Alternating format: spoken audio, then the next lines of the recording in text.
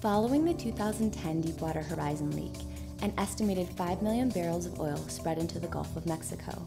In order to remove the oil at the surface of the ocean, over 800 skimmers were deployed. However, these vessels were only capable of collecting 3% of the overall surface spill due to challenges of operation and scalability.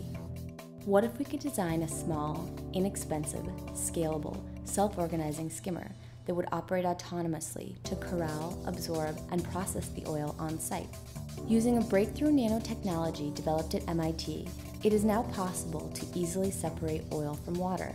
A new nanofabric selectively absorbs large quantities of hydrophobic liquids, like oil, without collecting any water. By heating up the material, the oil can then be removed, and the nanofabric can be used over and over again with constant absorption. Imagine we could use this nanomaterial on the surface of the ocean, like a paper towel gliding along the water.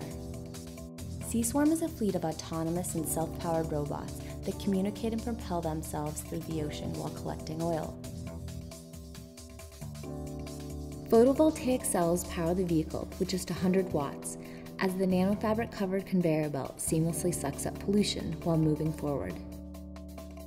Using swarm behavior, the units communicate via GPS and Wi Fi to manage their coordinates and ensure an even distribution over the spill site.